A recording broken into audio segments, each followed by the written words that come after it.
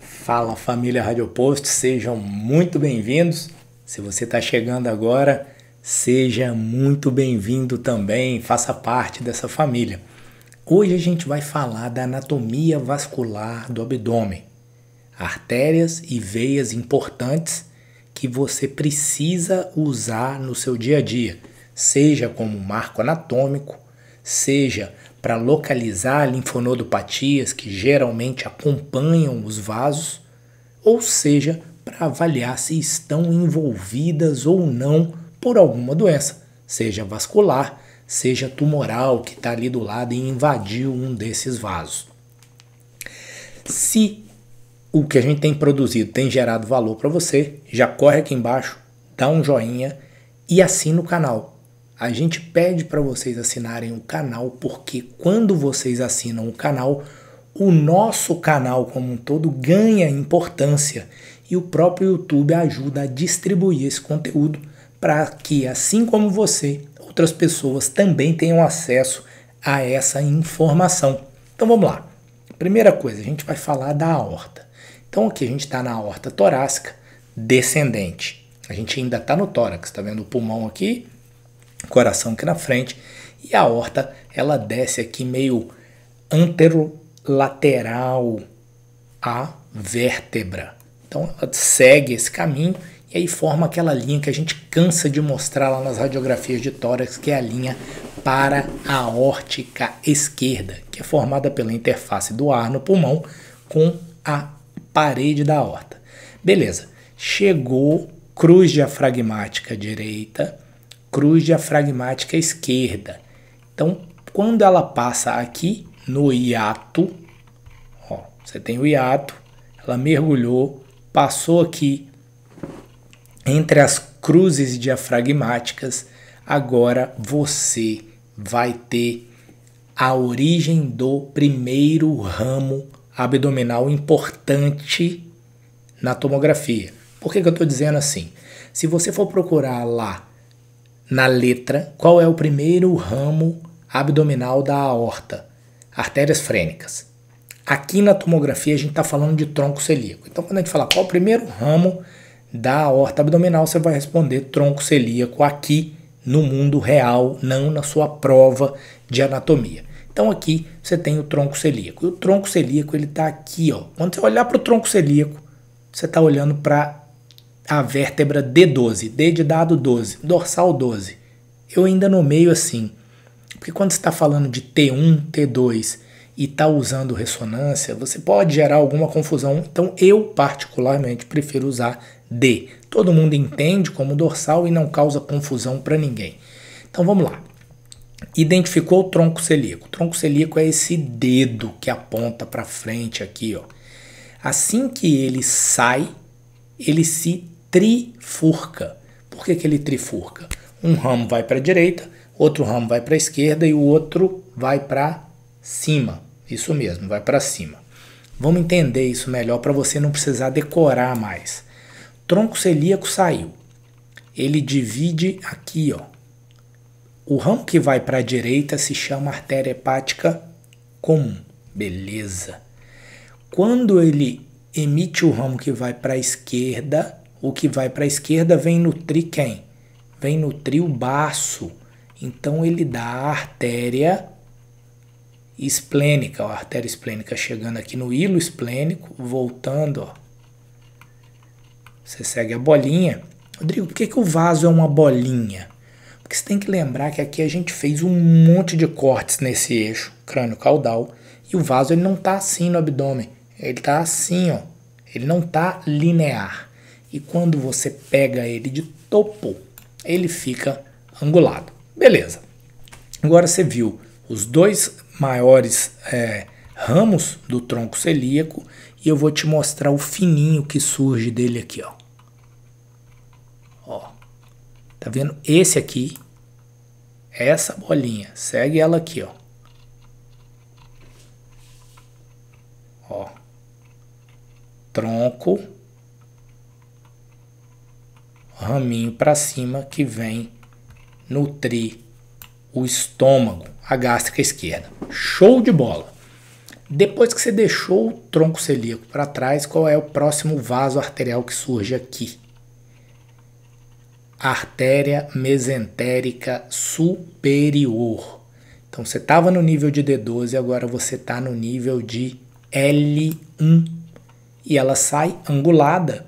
Esse ângulo importa porque às vezes quando ele reduz, você pode comprimir quem está aqui passando logo aqui embaixo, que é essa estrutura.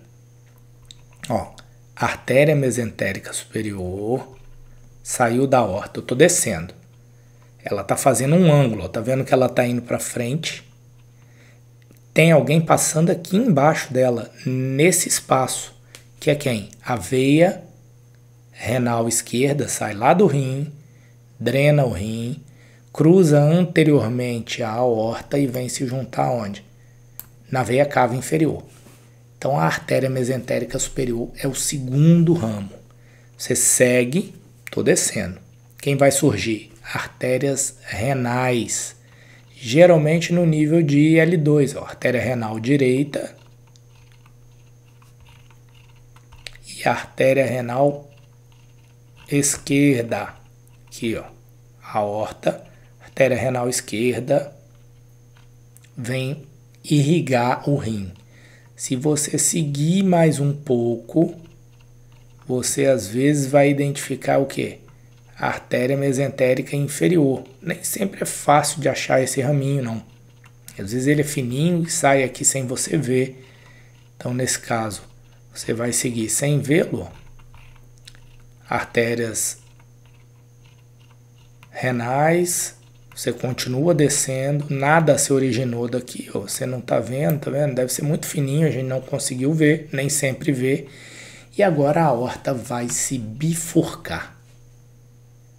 Para cá você vai ter um vaso e para cá outro vaso. Que vaso é esse? Artéria ilíaca comum esquerda. E essa aqui?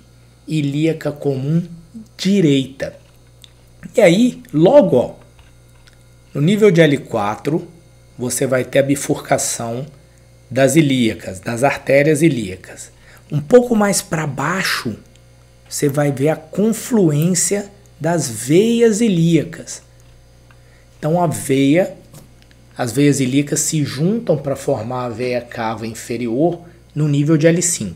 As artérias, é, a, a aorta se bifurca nas artérias ilíacas no nível da transição de L4 para L5. Massa. Agora, olha só que interessante. A artéria e a veia. Geralmente a veia tem o quê? Um calibre maior que o da artéria artéria ilíaca comum e aqui ela se divide em artéria ilíaca esquerda, externa e artéria ilíaca interna. A artéria ilíaca interna mergulha posteriormente e a artéria ilíaca externa segue aqui, ó, cruzando anteriormente o, o psoas e agora o ilho psoas e segue e aqui, ó, eu queria já te mostrar. Você está vendo a artéria e a veia ilíacas externas. A artéria é anterior, a veia é posterior e aí ela cruza. Ó. Aqui a artéria está mais medial. E aí, como ela vai chegando na fossa ilíaca e agora na região inguinal, quando ela sai na região inguinal, ela é lateral à veia. Percebe? Quando ela sai de artéria ilíaca e mergulha na região inguinal, você vai ter a artéria lateral à veia. Isso é importante, sobretudo para quem vai fazer ultrassom para procurar TVP. Saber que a veia femoral ela é medial. A femoral é medial. Então é fácil de guardar. Agora vamos voltar. A é, veia ilíaca externa se junta com a veia, ó, com a veia ilíaca interna, que se juntam com a, ou, com a outra veia ilíaca, que se junta com a outra veia ilíaca interna, que passa aqui ó, atrás da artéria ilíaca. e formam essa veia, a veia cava inferior. E aí um pulo do gato é o seguinte: nem sempre a veia cava inferior vai estar tá bonitona assim, distendida. Isso varia com a idade do paciente, varia com o nível de hidratação do paciente. E aí você segue a veia cava inferior, veia cava inferior vem, vem, vem até o seu segmento intrahepático. E aí, aqui em cima, ela se junta com as veias hepáticas e vai seguir para chegar lá no átrio direito. Perfeito. Qual as outras veias que estão tá faltando a gente pontuar? A veia porta. Por que, que a veia porta é tão importante, né? O fígado é um órgão que se irriga predominantemente por veia. Em torno de 75, 70 a 80% do sangue que chega para nutrir o fígado chega pela veia porta. Quem forma a veia porta? A veia porta é formada pela junção da veia mesentérica superior com a veia esplênica. Então são duas veias importantes que se juntam e formam uma veia importantíssima do abdômen, que é a veia porta. Vamos ver isso aqui. Ó, eu quero que você siga isso aqui, tá? É o teste de atenção. Esquece o resto e concentra só nisso aqui. Ó, a veia esplênica vem seguindo aqui, ó, ela vem paralela à barriga do pâncreas, por assim dizer. Ó, ela vem aqui, segue a pontinha aqui, tá? Ó, você tá, vamos voltar aqui para não ficar confuso. Saiu daqui, cruzou aqui. É essa bola que a gente está seguindo, tá? É essa bola aqui. Tá aqui, o pâncreas está aqui, ela está aqui, bem robusta.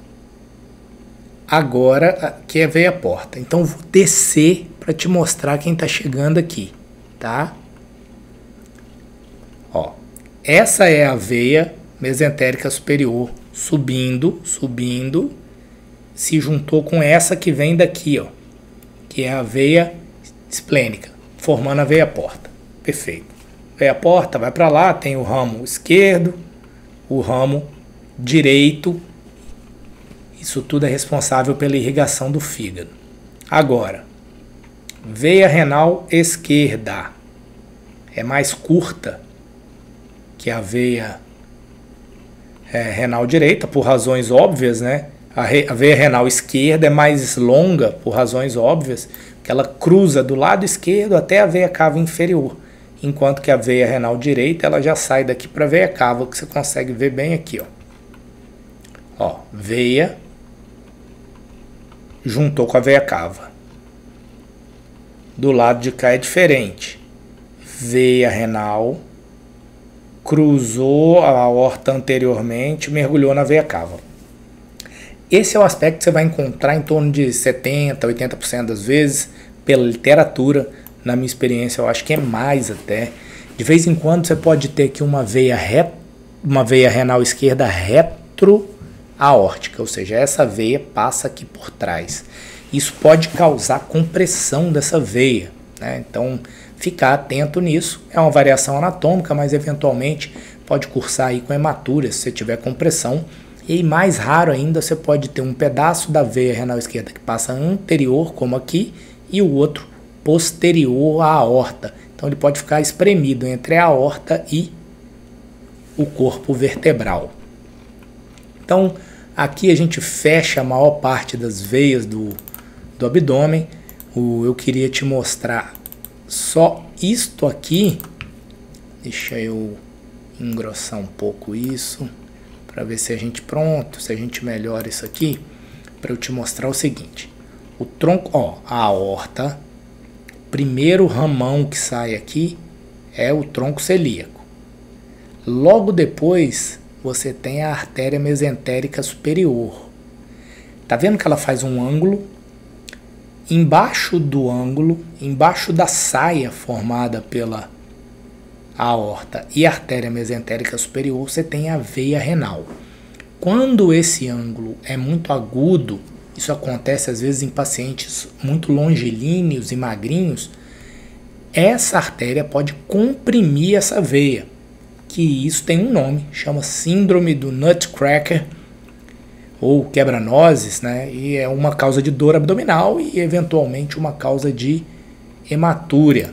E quando você olha isso no coronal, que a gente, o cirurgião adora, mas a gente gosta mais do plano axial, você vai ver aqui a veia cava inferior, entra no tórax, vai para o átrio direito, do lado esquerdo a aorta abdominal, tá aqui longitudinal, o ramo para a artéria renal direita, o ramo para a artéria renal esquerda, e aqui a sua bifurcação em artérias ilíacas.